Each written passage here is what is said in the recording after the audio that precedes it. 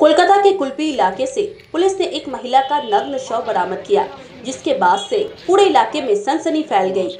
जानकारी के मुताबिक मृत महिला का नाम रूना लाइन खातून बताया जा रहा है। सोमवार की सुबह पुलिस ने महिला का शव बरामद कर उसे पोस्टमार्टम के लिए अस्पताल भेज दिया। फ़िलहाल पुलिस घटना की पड़ताल कर रही है।